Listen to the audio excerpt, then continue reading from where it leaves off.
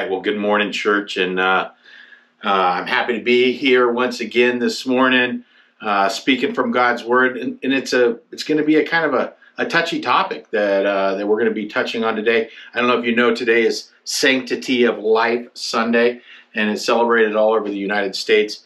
It was started uh, by President Ronald Reagan. He is, issued a presidential proclamation on January 13th, 1984 and uh, he designated Sunday, January 22nd, as the National Sanctity of Life Sunday, noting that it was the 11th anniversary of Roe versus Wade, in which the Supreme Court issued a ruling that guaranteed women's access to abortion. So I know this abortion topic is it's a it's a hot topic, um, but what does the Bible say? That's what we really uh, need to look at. What does the Bible say about human life? What does God say about human life?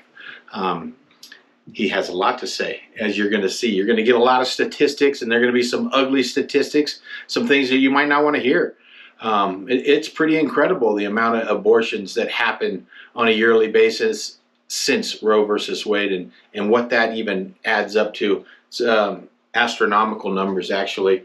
And I, I, I almost want to start crying just thinking about all of those lives. Uh, but let, let me pray for us this morning before we get into this word and uh, just that our hearts would be open. Lord, we just pray that you would open our hearts and our minds and our thoughts, Lord, to, to what you say about this topic, this ultimately what you say about life, the life that you created, Lord. And so I just pray that we all are willing to uh, set our opinions aside and just let you speak to us this morning, Lord. We love you and thank you in Jesus' name. Amen. At some point, abortion has become the second most common surgical procedure, only second to, you know what? Circumcision. So over 99% of all U.S. abortions have nothing to do with the life or the health of the woman. Okay, so let's get that out of the out, out of the way. 99% have nothing to do with the life or the health of the woman. They are done simply because of her desire or her uh, partners for convenience, absence, absence of distress, and her so-called happiness, right? This world that we live in, that you do you, what makes you happy, what makes you feel good, you do that. We don't care if it's right or wrong, you, you know, you just do what you do. In 1995, a study was done, and it showed that doctors in the U.S. performed 1.4 million, 1.4 million abortions per year. That is one per three live births. So for every abortion, for every three live births, there was one abortion. Another study done in 98 showed that doctors in the U.S. performed 1.3 million abortions, which is one for every 2.6 live, live births. 1.4 million abortions in 1995 made a 0.1% drop in 1998.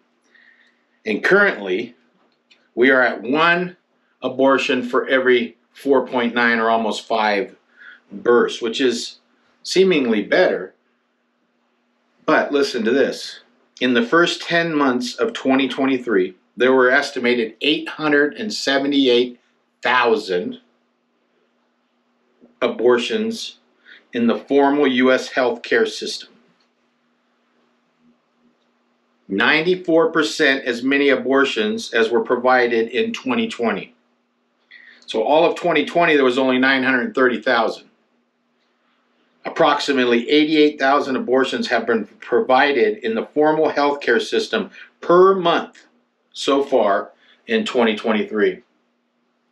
And so with 2 months of data left to be published, it's likely that that number of abortions provided in 2023 will substantially exceed 2020. And I want you to think about this. These are, these are just abortions that are performed in a clinic that people know about. There's hundreds, if not thousands more that are done under the radar. Also, abortion is likely to be even larger because of the counts they don't count include abortions occurring outside the formal healthcare system, which are likely to have increased substantially following, following the implementation implementation of the state bans and restrictions, right? So we made these restrictions. We've overturned Roe versus Wade, and so people are doing it on kind of like the down low. This also doesn't uh, account for the the overnight pill, the pills that you can have now that will uh, terminate a pregnancy. All right, here we're going to get to some some disturbing facts. And if those don't disturb you already, 1,800,000, I mean, just the thousands and thousands and thousands of lives. It is said that there have been approximately 64 million 443,118 abortions that we know of since Roe versus Wade in 1973.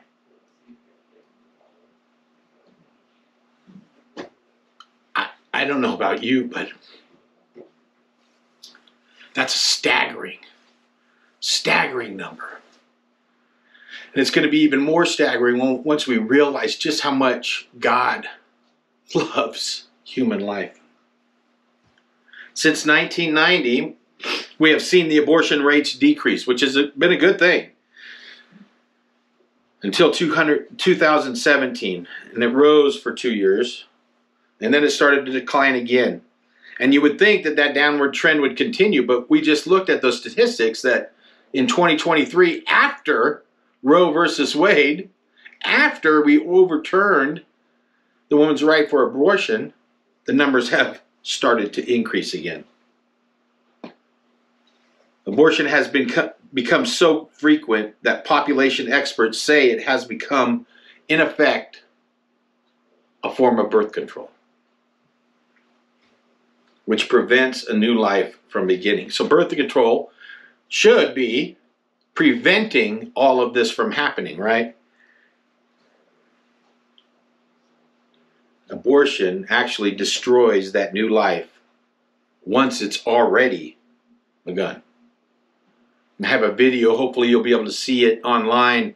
Um, and we're going to uh, show it, and it's going to show us that life begins at conception.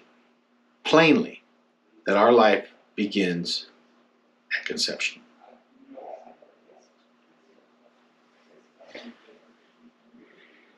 All right, so let's look at the uh, the women that are having abortions.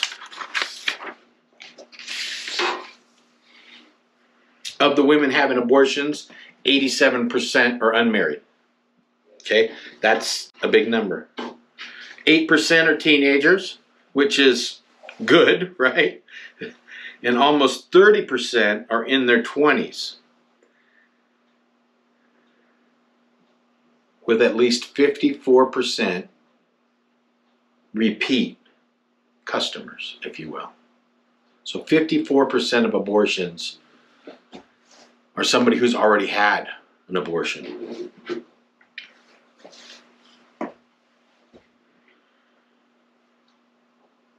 You might be asking, you know, there's there's the the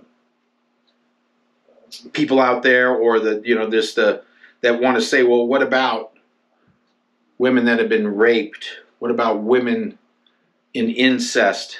And I want to tell you, just one percent of women obtain an abortion because they became pregnant through rape, and less than 0.5% do so because of incest.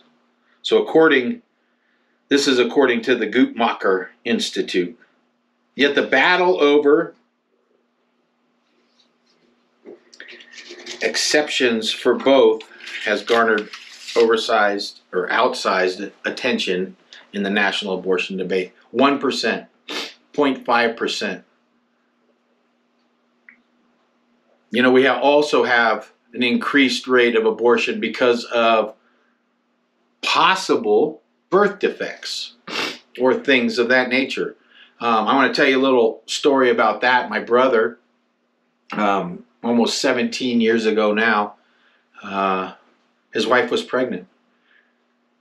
And they went to the hospital, you know, when, when it was time to, you know, check the age and, you know, look at different markers. And, and they came to him and said, you know, you might want to uh, terminate uh, this abort this this this fetus because, well, she uh, she could have Down syndrome.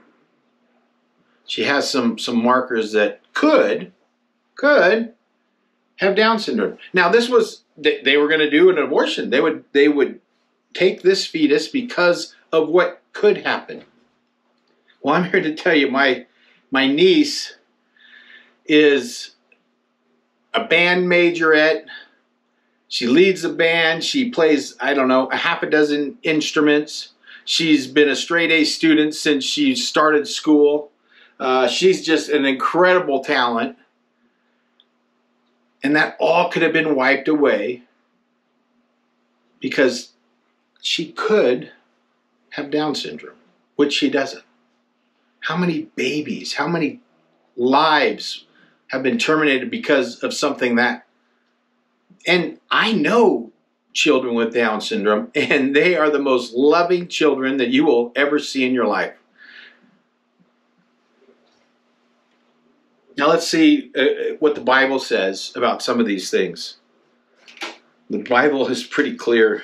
In Leviticus 19:14 it says, "You shall not curse the deaf or put a stumbling block before the blind, but you shall fear your God, because I am Lord. Exodus 4:11 says, And then the Lord said to him, Who has made man's mouth? Who makes him mute or deaf or seeing or blind? Is it not I, the Lord? And this is a good one. In John 9, 2 through 4, it says, And his disciples asked him, Rabbi, who sinned, this man or his parents? that he was born blind? And Jesus answered, It was not that this man sinned or his parents, but that the works of God might be displayed in him. We must work the works of him who sent me while it is it is day, night is coming, when no one can work.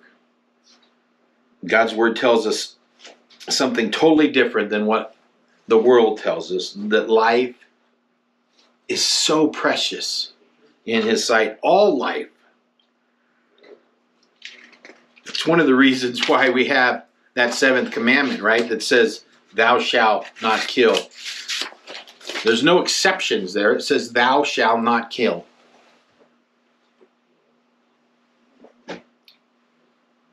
In some ways, if you think about it, it's pretty sad that we have to have a sanctity of life Sunday that we wouldn't just always think about a sanctity of life, that life is so precious all over the world, young and old. All right, so the first point I want to make today is that God originated human life and he sustains it. God originated, he started it, right? And he also sustains us. Genesis 2 7 says, Then the Lord God formed the man of dust from the ground and breathed into his nostrils the breath of life. And the man became a living creature. It wasn't until God breathed into him that he had life. Jeremiah 1 4 through 5 says, Now the word of the Lord came to me, saying, Before I formed you in the womb, I knew you and before you were born, I consecrated you. I appointed you a prophet to the nations. He knew us before we were even conceived. The truth about human life is that God originated it, He sustains it.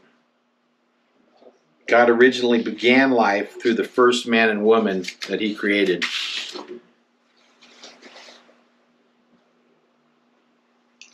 And he super intends every life from its earliest moments in the womb. According to Psalms 139, 15 through 16. It says, My frame was not hidden from you when I was being made in secret,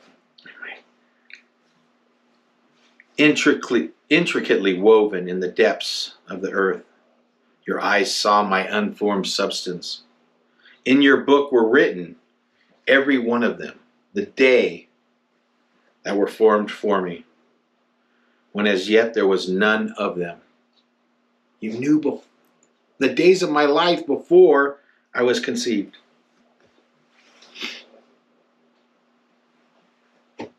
Galatians 1:15 says, "But when he who had set me apart before I was born and who called me by his grace." And Romans 8:29 says, "For those whom he foreknew, he also predestined to be conformed to the image of his son." in order that he might be the firstborn among many brothers. So, once again, God so thoroughly sustains every aspect of our life. The Bible says in Job 34 14 and 15 if he should set his heart to it and gather to himself his spirit and his breath, all flesh would perish together, and man would return to dust. So if it, God said, see fit to take his breath from us, that would be the end of it. That would be the end of all of us. But he doesn't do that. The number the, the second thing I want us to think about is God has printed, he has printed his image upon human life. God has printed his image upon us. The distinct factor that sets humanity apart from baboons and whales and seagulls, all other animals, is that which forms the most fundamental part of his being. God has made us in his own image. Genesis 1 26 through 27 said, Then God said, Let us make man in our image, after our likeness. And let them have domain over the fish and over the sea and over the birds and over the heavens nor birds of the heavens, and over the livestock, and over all the earth, over every creeping thing that creeps on the earth. So God created man in his own image. In the image of God created him, male and female created he them. So he says it, he makes he makes it pretty pretty obvious. He says it three times that we were created in the image of God. Every single one of us was created in the image of God. Revelations 4:11 says, "Worthy are you, O Lord and God, to receive glory and honor and power, for you created all things, and by your will they existed and were created." God created this earth for us. It says right here in Genesis that he put man and woman above all the other creatures of the world everything in the world. He made us for so, so much. And He loves us so very much. Every single life. So the image that is printed in mankind is so precious that it needs to be protected. We need to protect those who can't protect themselves.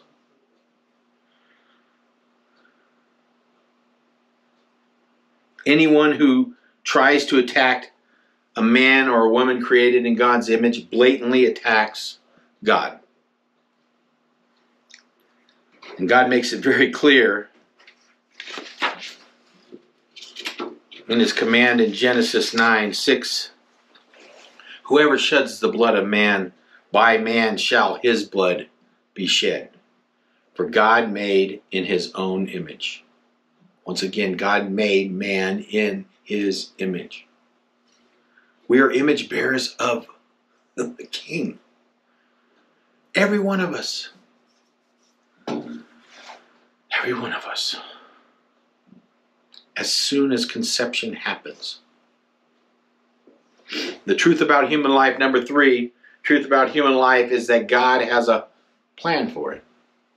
God has a plan. He's always had a plan. His plans are different than my plans. Uh, sometimes I think I have the plan all figured out, and God says, No, no, no, that's not part of my plan. His plan was to save human life from death and destruction from the beginning. 2 Corinthians 5:15 says, "And he died for all, that those who live might no longer live for themselves, but for him who for their sake died and was raised." Christ came to die so that we don't have to. For God has in 1 Thessalonians 5 9 through 10 says, For God has not destined us for wrath, but to obtain salvation through our Lord Jesus Christ, who died for us, that whether we are awake or asleep, we might live with him.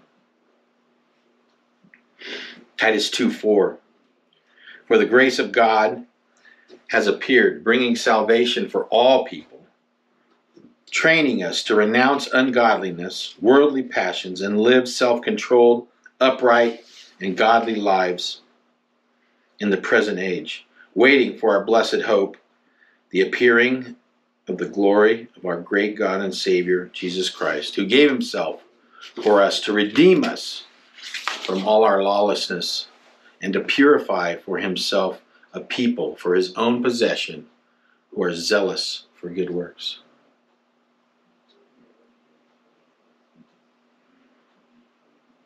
And I know uh, you know this one, John 3:16.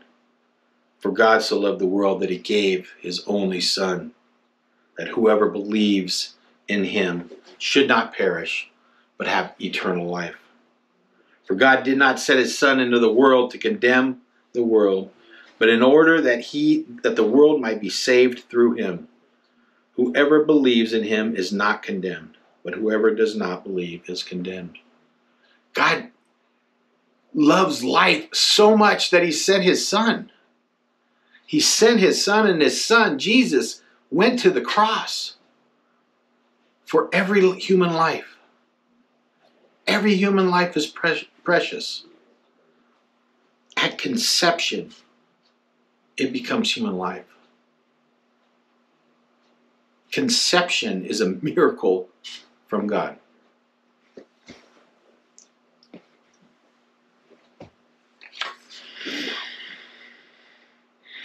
Matthew 16, 24 says, Then Jesus told his disciples, If anyone would, would come after me, let him deny himself and take up his cross and follow me. So, ever since the fall of mankind, man has been stuck on him or herself. That is the reason why Jesus said that we must deny ourselves so that God, God's plan, could be fulfilled. So if we're living our way, right, and we're living our plans and our thoughts, we can't be doing what God has planned. Number four, God has a purpose for human life. So we look, God has a plan, and then He has a purpose. We all have. Do you know you we all have a purpose? The truth about human life is that God has a purpose for it.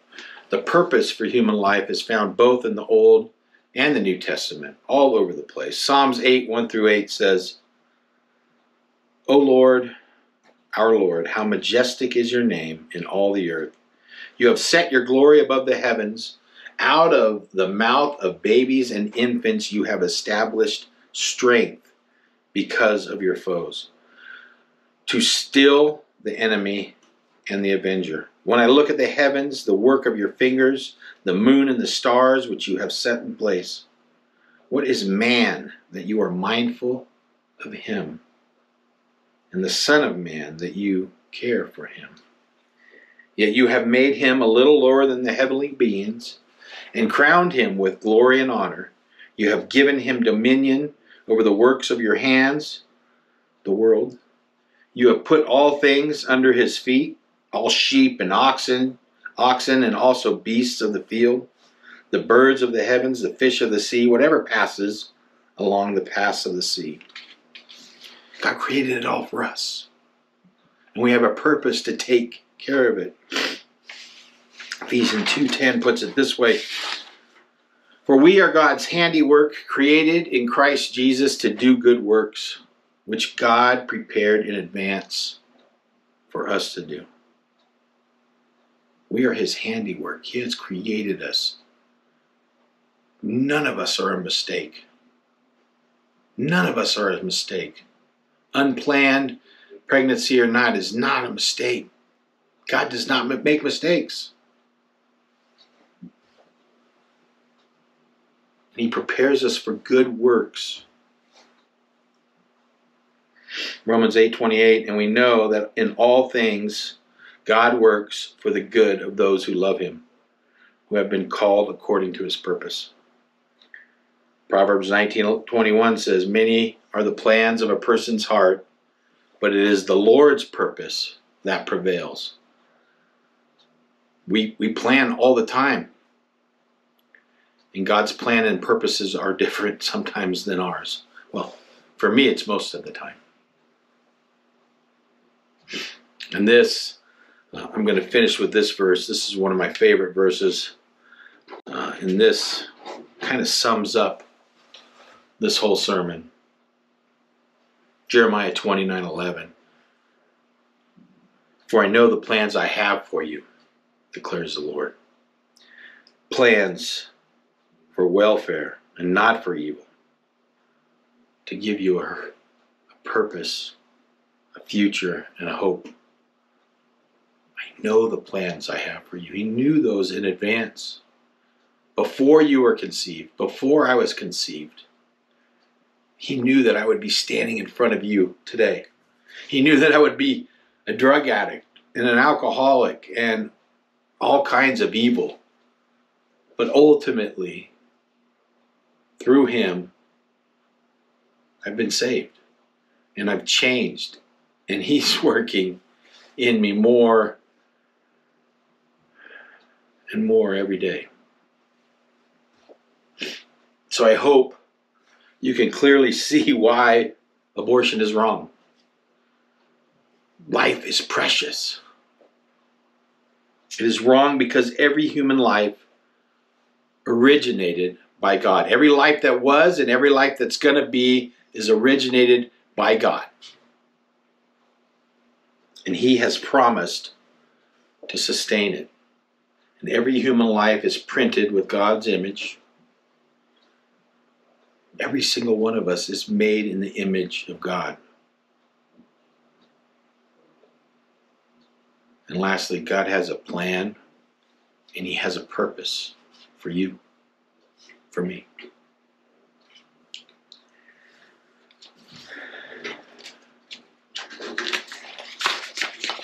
Pretty pretty hard topic to swallow. And I know that there's people on both sides of the street, but hopefully it's brought you to the middle. Because what does the Bible say about life? That's what ultimately we should be thinking about. What is biblical? What does God say? Not what is your opinion, not what makes you feel good, but what does God say about it? We have an opportunity. I'm going to share a little something from you from uh, uh, Peak Women's Care. I don't know if you remember, you, you've heard about this. This is this uh, this clinic that we're trying to start up in uh, Portola, and uh, they uh, had this idea. It says, let's see, in October 2022, I shared a vision that God had placed on my heart to open a place for women who are seeking an alternative to abortion a safe place where they could come to receive help, support, love, and to choose life for their unborn child. In one short year, that vision has been embraced by so many people, so many people that have stepped forward to support in time and resources. And weeks and, and peak women's care has become a reality, not just a dream. In October this year, they held their first fundraising dinner, and through that, they raised over $200,000.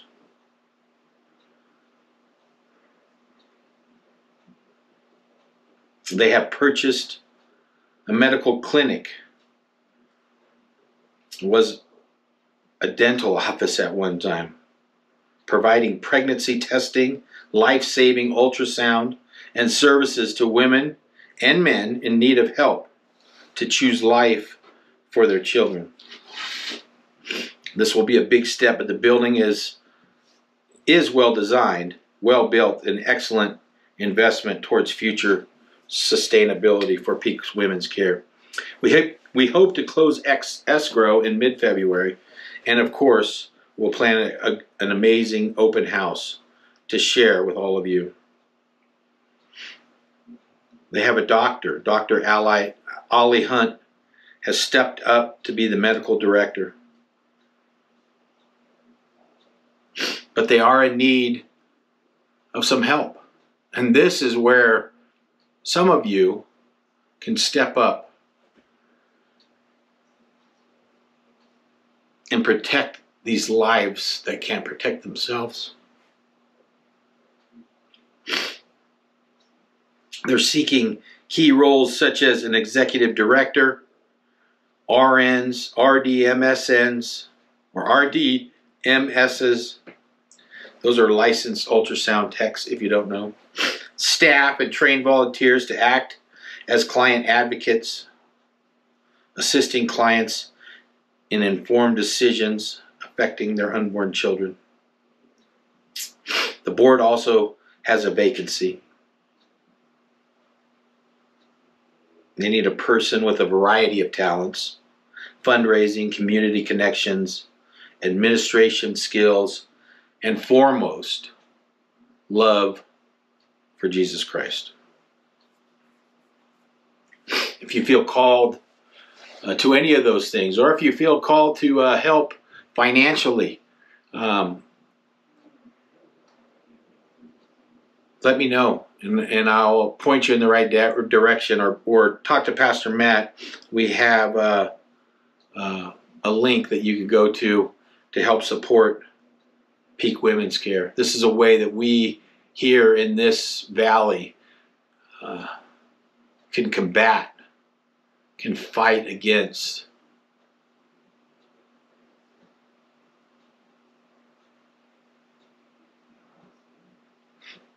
the death of children, the death of human souls that don't ever have a chance. Let me pray for us. Heavenly Father, we are thankful for who you are and what you've done for us through your Son, Jesus Christ. We're thankful for life, Lord, that you, you breathed it into us, Lord. You breathed us into existence. Lord, I do pray for those who can't pray for themselves, Lord, who can't defend themselves, Lord. I pray that you would help us to fight for those lives, Lord. Give us the strength to stand up, to speak out against this wrong, Lord, because you just love life so much. So much that you sent your Son, Lord, so that we might not perish, but have everlasting life. Lord, I just pray for the rest of our week, Lord. I pray for, for those who are struggling, for those who are sick. Pray that you would give them strength. I pray for those in need, Lord, that they would reach out we would love to help them. They would just reach out. We love you and we thank you. And we ask all these things in Jesus' name.